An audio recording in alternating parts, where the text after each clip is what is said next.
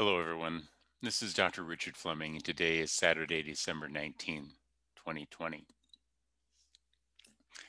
I'm going to begin this video broadcast by doing something I rarely do, taking a personal example out of my life to begin the point of discussion.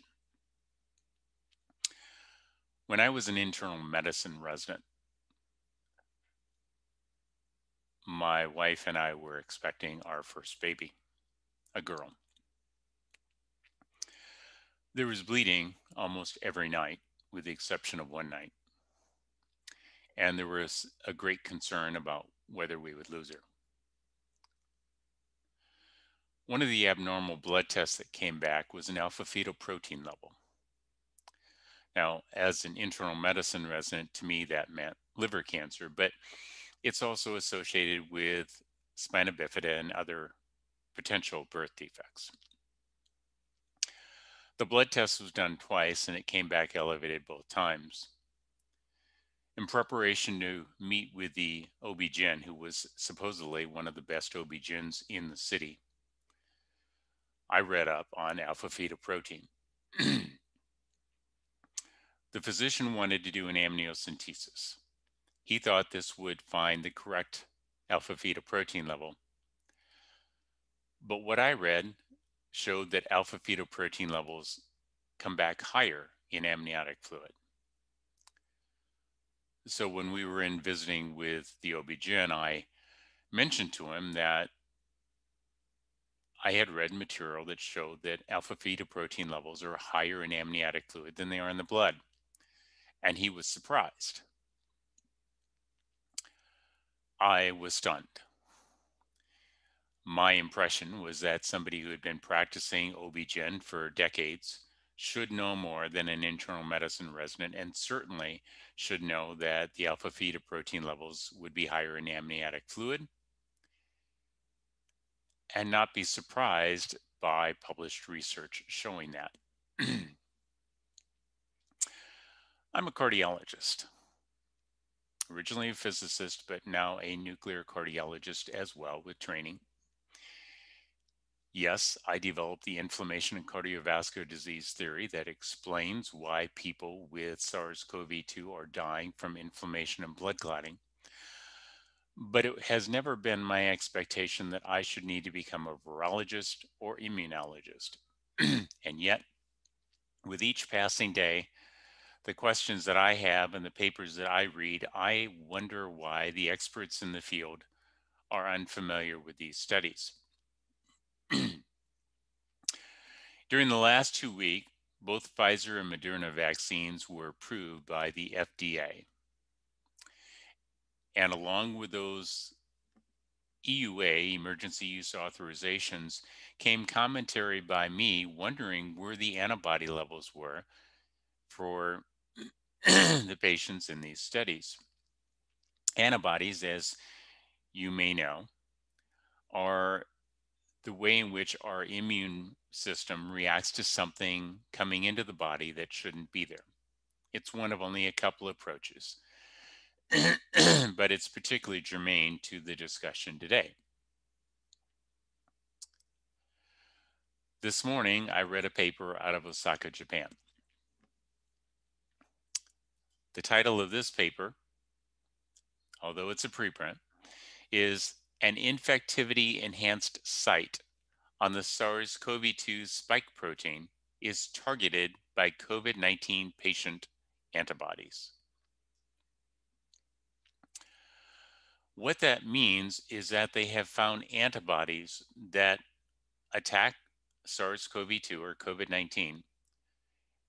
And because they do so, it increases the ability of the virus to infect and kill people.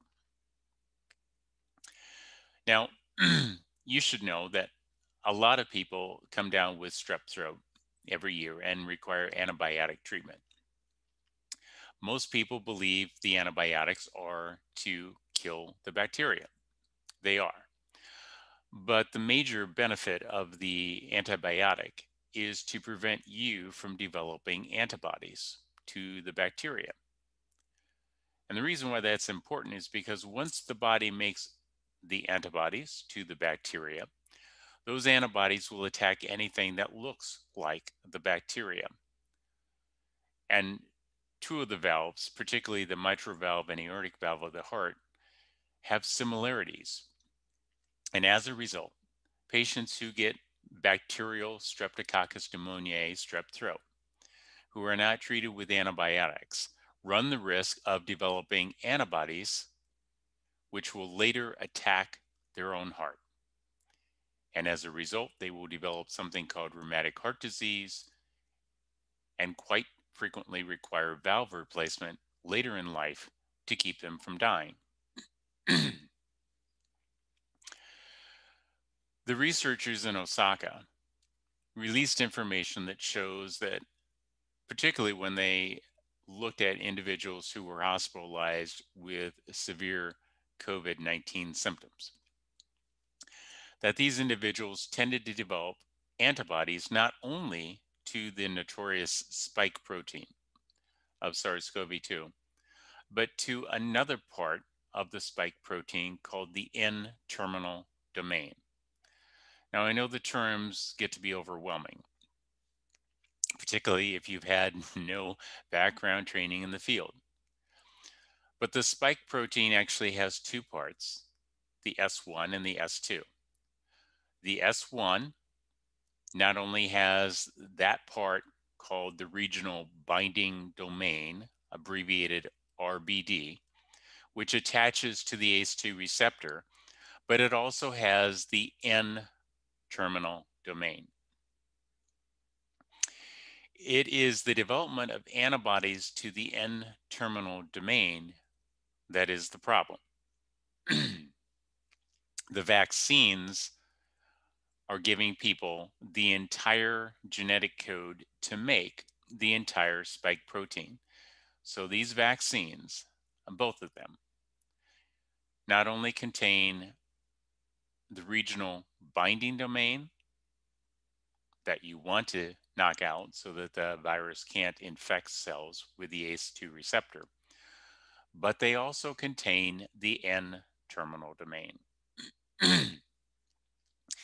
when the antibodies that people make to the N terminal domain are made and attack the N terminal domain, it changes the shape of the N terminal domain, the NTD.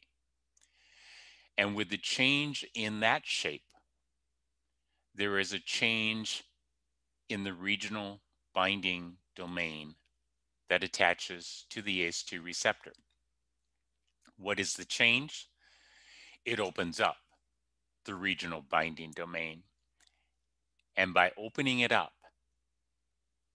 it has a greater ability to attach to the ACE2 receptor and infect cells. Bottom line the vaccines contain the N terminal domain and people will make antibodies to the N-terminal domain that will then increase the ability of the virus to infect the people. In the same way that the antibodies to the strep in your throat can cause valve damage to the heart, these antibodies can increase the ability of the virus to infect you. Now, if this were the first time that humanity knew about this, we might say, wow, we just didn't know. But this is SARS CoV 2. Two prior SARS viruses severe acute respiratory syndrome viruses that kill people by producing inflammation and blood clots. Two prior SARS viruses are well known SARS CoV 1 from 2002 and the Mediterranean version called MERS from the 2007 era. In both instances, researchers showed that antibodies made to those viruses would change what's called the FC component of the antibodies. A different area of the antibody that increased the infectivity to SARS CoV 1 and to MERS by giving vaccines that produced antibodies. The FC is the area where the complement cascade or the blood clotting part attaches to the antibody. But this specific new change is not just to the FC component, it's to the S protein itself on the N-terminal domain. Bottom line, the research has shown that vaccinating individuals for SARS-CoV-1 or MERS increased the development of antibodies that made the viruses even more infective. The research now shows that vaccinating people with this S protein increases the infectivity of SARS CoV 2 and accounts for the major difference between people who end up in the hospital and those who do not. It is related to the immune response that we've been talking about with all the people with the comorbidities or a naive immune system. This information should have been discussed by the FDA committees that approved emergency use authorization. This information should have been discussed by the FDA, Health and Human Services, CDC, NIAID with Dr. Fauci, Dr. Redfield, Dr. Hahn, Dr. Birx, the World Health Organization. If a physicist nuclear cardiologist can find the information being done by experts in the field in immunology and virology, research that shows a major concern with these vaccines. The question is why didn't the FDA and other agencies do their job? This is time not to celebrate these vaccines, but to raise serious questions about why they were approved and the potential consequences for harm and death among people that are taking the vaccines. Not only do I believe a moratorium should be called on these vaccines at this point in time, but those individuals that were responsible that have knowledge of this and yet promoted these vaccines should be held criminally accountable in international court for crimes against humanity.